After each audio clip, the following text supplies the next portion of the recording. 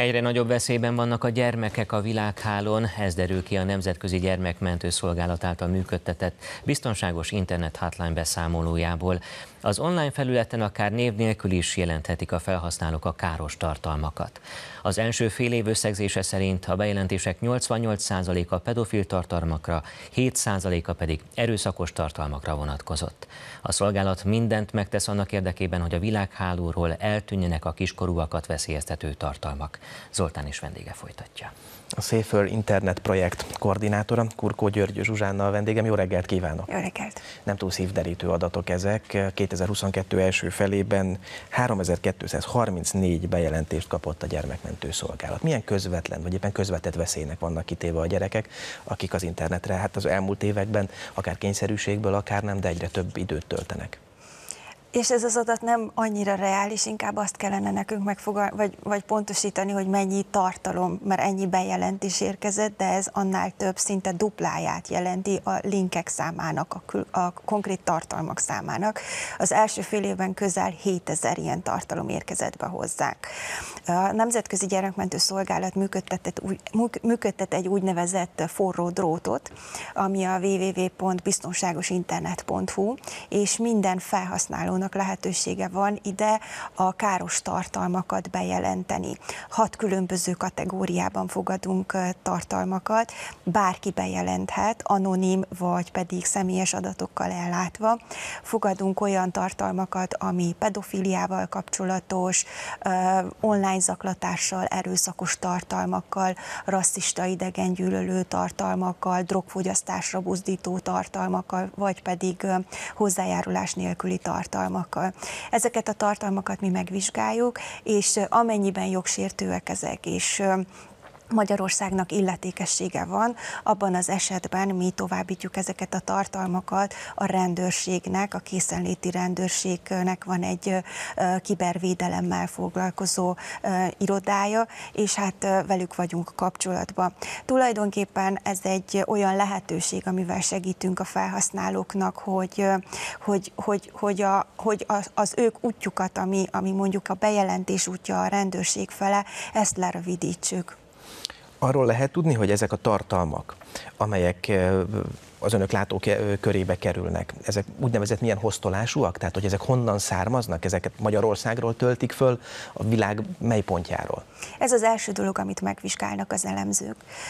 Mert csak akkor tehetünk bármit, vagy járhat el a magyar rendőrség, hogyha van magyar illetőség. Ugye mi azt szoktuk mondani, hogy milyen hoztolású az adott tartalom, ez azt jelenti, hogy a gazdagép az hol van, a megosztó. A hozzánk beérkezett, első fél évben beérkezett tartalmak nagy része sajnos ez a 88 százalék, ez egy kimagasló szám, 88 százalék a pedofil tartalom volt, de egyetlen olyan a mi oldal, oldalunkra bejelentett tartalom sem volt, ami magyar hoztolás. Lehetnek olyan tartalmak, ami bár magyar nyelvű, és egy felhasználó azt gondolhatja, hogy ez egy magyar hoztolású tartalom, de tulajdonképpen más országban vannak hoztolva. Leggyakoribb 79 százalék ezeknek a tartalmaknak az USA-ban van hoztolva Hollandiába, Oroszországba.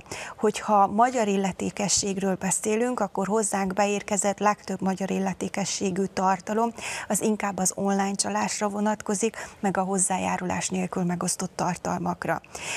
Azért dolgozunk mi egy rendszerben, és tagja vagyunk egy nemzetközi szervezetnek, ez az InHope szervezet, mert a hozzánk beérkező olyan tartalmak, amik nem rendelkeznek magyar illetőséggel, ez, eznek a szervezetnek a segítségével és az általa biztosított biztonságos rendszer segítségével ezeket a tartalmakat mi továbbítani tudjuk az illetékes országoknak. Konkrét, konkrét példa, hogyha beérkezik hozzánk egy olyan tartalom, mondjuk egy pedofil tartalom, ami, ami mondjuk az USA-ban vagy Hollandiában volt hoztolva, akkor mi azonnal megkeressük a, a holland vagy az USA-ban működő forródrótot, azzal a felkiáltással, hogy itt van egy ilyen tartalom, és három napon belül meg kell keresni a rendőrséget, vagy a tartalomszolgáltatót. És erre mi visszajelzést szoktunk kapni, hogy az adott országban a jogszabályok szerint valóban ez egy jogsértő tartalom-e, illetékes rendőrséget megkeresték-e,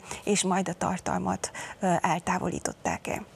Arra vonatkozóan van tapasztalatuk, hogy milyen korosztályt érint leginkább ez a probléma, és hogy hogyan találkozhatnak ilyen tartalmakkal egyáltalán a gyerekek, mit tehet a szülő adódik a kérdés, az köztudott, hogy sőt az elmúlt években egyre hangsúlyosabbá vált, hogy ne osszunk meg fotókat, kényes információkat az interneten, mert egy-egy fénykép könnyen akár a darkneten is landolhat.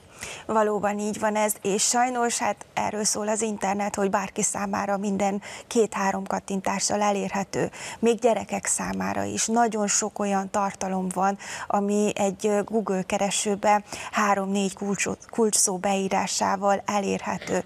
Éppen ezért mondjuk nagyon gyakran a szülőknek, hogy olyan eszközöket adjanak a gyerekek kezébe, amint van egy tartalomszűrő, egy, egy szűrőszoftver telepítve, egy képernyő időkorlátozás, hogy a gyerekeknek azért határozzuk meg, vagy, vagy amit lehet, tegyünk meg annak érdekében, hogy egy picit korlátozzuk azokat a tartalmakat, amiket ők elérnek. Sajnos nagyon sok ilyen tartalom van. Mi azt tehetjük, hogy beszélünk a gyerekekkel, hogy nem oké, hogyha ilyen tartalmat látnak, nem oké, hogyha ismeretlenek akarnak velük ismerkedni, mondjuk messengeren, nem oké, hogyha küldenek, hogyha kérnek tőlük ilyen tartalmakat, nem oké, hogyha mondjuk belemennek egy sextingbe, ne küldjenek magukról ilyen képeket, de ne csak a gyereknek küldjön magáról, hanem a szülő se töltsön fel olyan képeket, amik aggályosak lehetnek. És ahogy ön is elmondta, nagyon sok első ránézésre általmatlannak tűnő fotó átkerül a, a darknetre,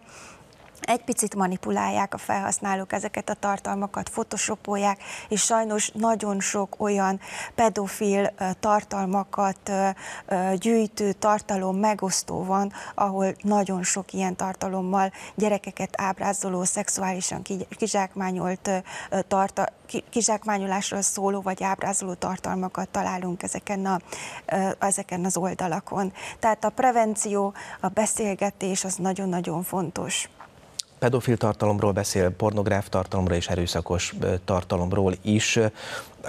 Visszautalnék arra, hogy az elmúlt két évben nagyon sok gyerek töltötte sok időt a számítógép előtt, az online oktatás miatt is, de amúgy is teret nyertek ezek az eszközök otthon, és nagyon sok szülőnek igazából nem tűnik fel, hogy most a gyermek a gép előtt ül, hiszen eddig is a gép előtt ül. Arra akarok kiukadni, hogy amikor ilyen pornográf vagy akár erőszakos tartalmat lát, akár a világképét is befolyásolhatja egy-egy gyermeknek, egy szülő mikor kezdjen el aggódni, milyen látható jelei vannak annak, hogyha a gyermek rendszeresen ilyen tartalmat néz.